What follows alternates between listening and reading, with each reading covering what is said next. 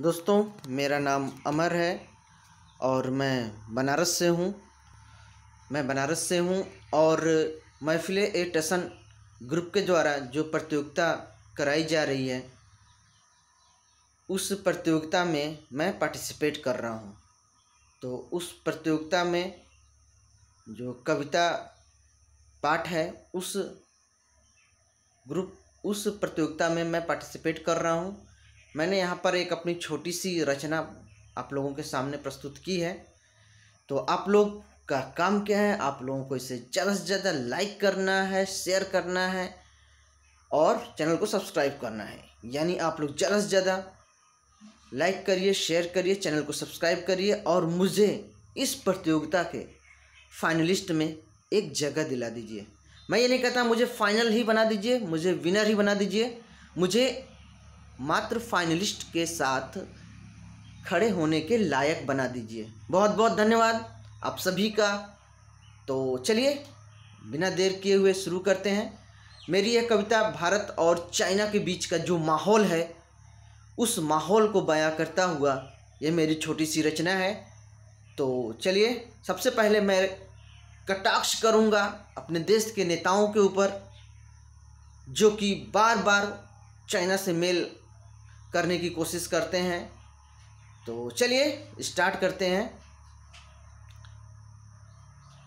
ऐ नेताओं, ऐ देश के नेताओं, जब जब मोहब्बत का पैगाम लेकर, जब जब मोहब्बत का पैगाम लेकर तुमने हाथ बढ़ाया है, तुमने हाथ बढ़ाया है, वो धोखेबाज कायर चाइना ने वो धोखेबाज कायर चाइना ने अपने नापाक इरादे दिखलाया है। कहने का मतलब है, जब जब मोहब्बत का पैगाम दिया गया है उसको, उसने अपना नापाक इरादा दिखलाया है।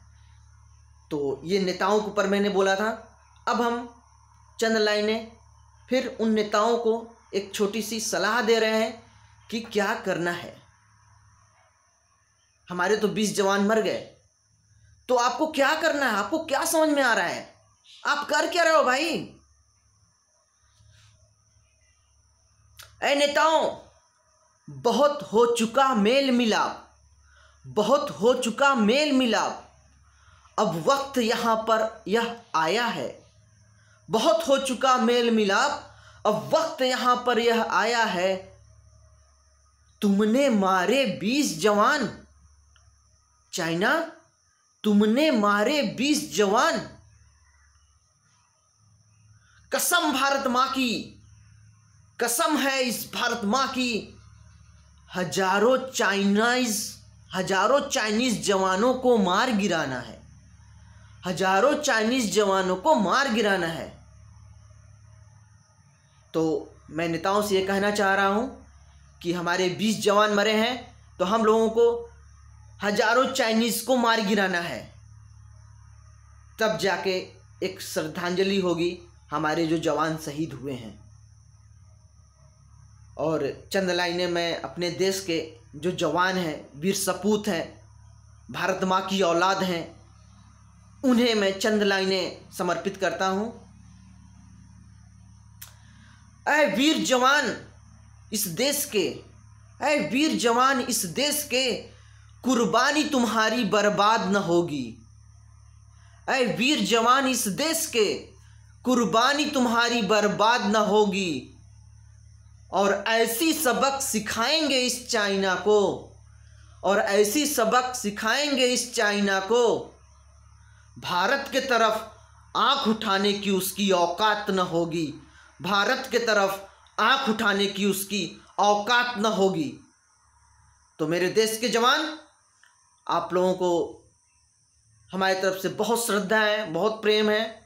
आपकी कुर्बानी बर्बाद न होगी और चाइना को आँख उठाने की औकात न होगी। तो इसी के साथ मैं, हमारी यह रचना थी छोटी सी, जो हमने आपके सामने प्रस्तुत किया है। फिर से मैं दोबारा आपसे कहूँगा, ज़्यादा से ज़्यादा लाइक करिए शेयर करिए कमेंट करिए। जय हिंद, जय भारत, वंदे मातरम।